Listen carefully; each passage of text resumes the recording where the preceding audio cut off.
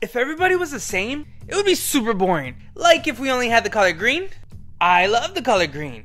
But we need all types of colors to create the prettiest art possible. And everyone's special in their own way. And yes, even crocodiles. Imagine all these plain, snappy, grumpy crocodiles with that same tough personality. There would be no adventure and silly stories. And definitely no bright red bows. But you don't have to imagine that anymore. This next book is gonna teach you to never judge a crocodile by its scales. Crosby, the not so snappy crocodile. This kind hearted reptile, this is Crosby. And I know what you're thinking. Crocodiles are mean. Even though he looks like the other crocodiles, with those razor sharp teeth and those scary claws, he's actually as kind hearted as can be. He doesn't even eat live prey, he finds it unkind. That is impressive.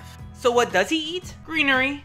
And he isn't a cranky croc, because he never gets angry. I know, I never would have thought. But of course, being different caused him to get made fun of. They found him to be super strange, because he wasn't doing crocodile things. Like any people, but that didn't stop him from trying to fit in. But it didn't work, because we can't change who we are. Until one day he was swimming all alone. I found an Easter egg and noticed that things were getting a little overgrown, and decided to use his teeth and claws to decorate a little bit. I wonder what the other crocodiles are gonna think. But more importantly, is he gonna learn how to accept himself?